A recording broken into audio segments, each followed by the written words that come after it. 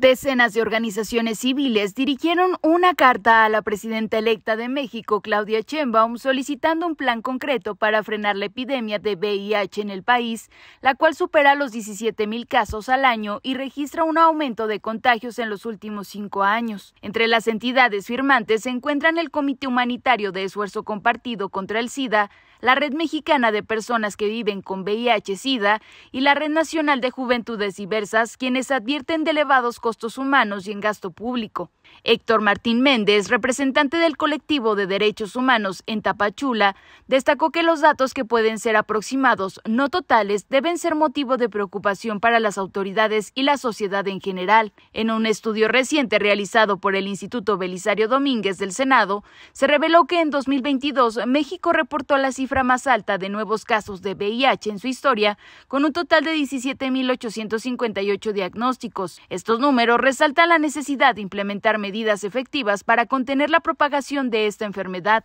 Los activistas señalaron la necesidad de mejorar la coordinación entre las instituciones de salud y garantizar un acceso equitativo a los servicios de atención y tratamiento para que las personas con VIH no vean interrumpidos sus tratamientos y que por el contrario cuenten con un lugar seguro en el cual recibir asistencia médica y un seguimiento adecuado.